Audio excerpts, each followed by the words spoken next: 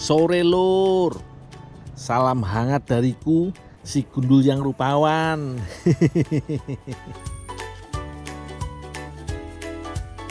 Hari ini aku lagi di Plaju lur, Kecamatan Plaju, Kota Palembang, Sumatera Selatan.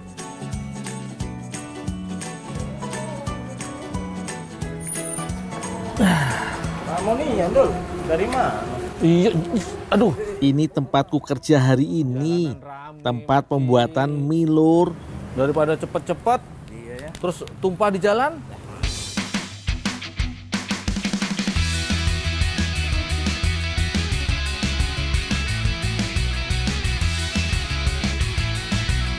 Salah satu jenis mie yang diproduksi di sini adalah yang biasa dipakai untuk masak mie celor, masakan khas dari Palembang.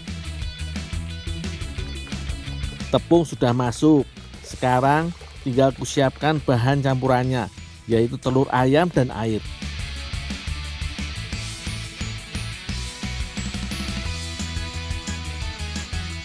Omong-omong, aku ya udah biasa bikin mie lur. Dari mie caluk khas Aceh sampai mie dari Singkawang pernah aku bikin. Jadi yo tepat banget toh aku kerja di sini.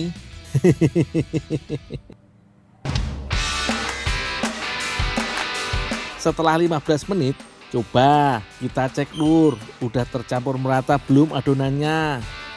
Wah, udah pas iki.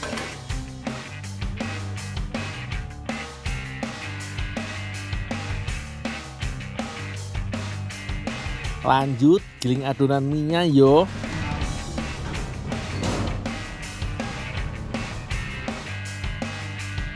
Kayak alat giling yang emak-emak punya di rumah yo. Tapi ini versi besar dan canggihnya. giling adonannya nggak cukup sekali. Jadi biar permukaannya mulus, adonan perlu digiling berulang kali. Lanjut, cetak adonan menjadi untayan mie. Mie untuk mie celor khas Palembang beda dengan biasa lur.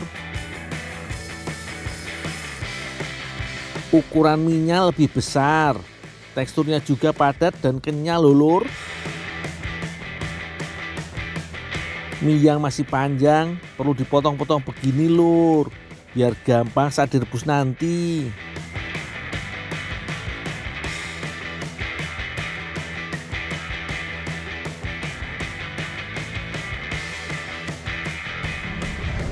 Dul, udah tinggal aja. Ini belum dipotong Bang, Cik? Biar kata aja yang nerusin. Ini buat kamu. Oh, iya, Bang. Iya. Iya, Makasih Bang, Cik ya. Ya, sama-sama. Dalam bahasa Palembang, celor artinya direndam dalam air panas atau diseduh. Makanya minyak cukup direbus sebentar saja. Warna mie setelah direbus berubah loh lur, jadi lebih kuning ya. Sebelum aku pulang, tak bantuin si bos dulu deh melayani pembeli. Dul, ada mie nggak? Oh iya banyak mie mau pabrik mie tanya mie. Mau beli mie apa sih? Mau mie celor tuh, 2 kilo. 2 kilo? Iya. Bos, 2 kilo bos ya. Baru satu pembeli, kesabaranku sudah langsung diuji kilur.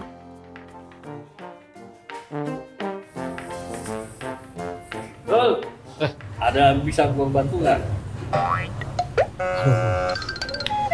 Kalau ada yang bisa dibantu, aku aja bantu kerja di sini. Kau minta bantu-bantu lagi. Nanti kerjaanku hilang. Mau beli nggak sih? Udah, Udah, udah. ada. Tobat, tobat. Kok pelanggan hari ini antik-antik semua yo? Yang belum kenal, aku kenalkan deh. Iki lo yang namanya Yuhani. Di tangan Yuhani, mie yang kudapat gratis ini bakal diubah jadi panganan enak. Dari tadi kan aku sebut terus mie celor. Sekalian aja lah, aku dan Yuhani mau masak mie celor dengan kuahnya yang khas. Terus bakal kita inovasikan jadi kue. Bahan-bahannya ada tepung beras, udang, kelapa parut, gula pasir, garam, merica, bawang merah, bawang putih, bawang daun, telur, dan cabai merah. Yuhani sudah mulai bikin santan tuh. Yang khas dari mie celor tentu saja kuah santannya lur.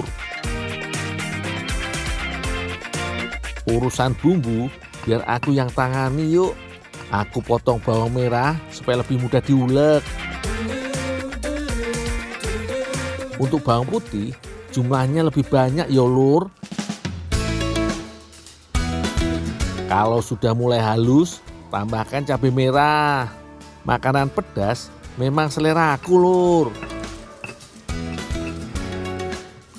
Santan sudah jadi, bumbu pun sudah halus. Biar aku lagi yang lanjut bikin kuahnya. Aroma bumbu ketemu minyak panas, nggak ada duanya memang lur. Wangi bingit.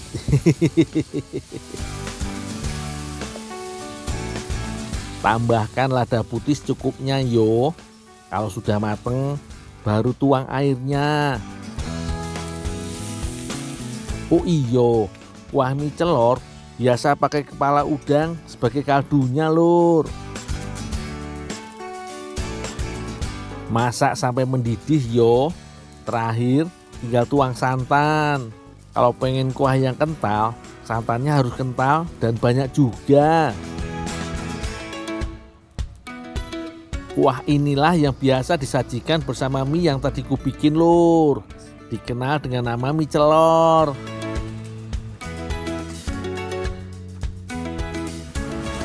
Yuk, nih kaldunya udah jadi yuk. Udah jadi, makasih Andul. Ada yang bisa bantu lagi nggak yuk? Enggak, itu aja. Tidak, aku tinggal yuk ya. Ya, makasih Andul.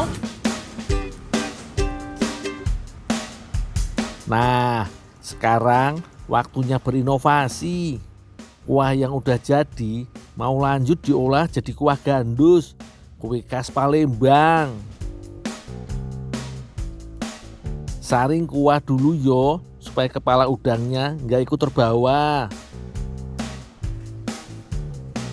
Bisa dibilang kuah mie celor ini sebagai gantinya air lur.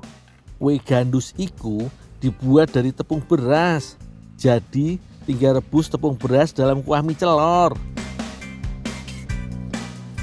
Nah, iki uniknya kue gandus inovasiku dan Yuhani. Kita tambahkan mie. Namanya juga inovasi lur. Boleh-boleh aja toh. Udah cukup kalis nih. Sekarang tinggal masukkan ke cetakan.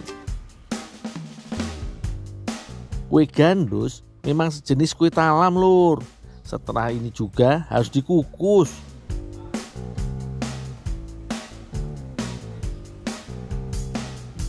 Lama ngukusnya sekitar 15 menit.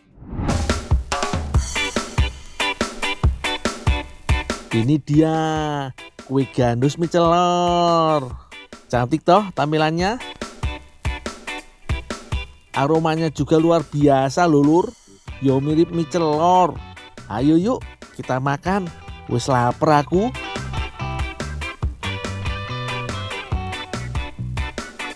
Rasanya gurih, aroma udangnya pun masih terasa lur. Kalau diinovasi begini kan, makan mie celor jadi gak membosankan. Mie celor dalam bentuk kue gitu loh. Enak epol.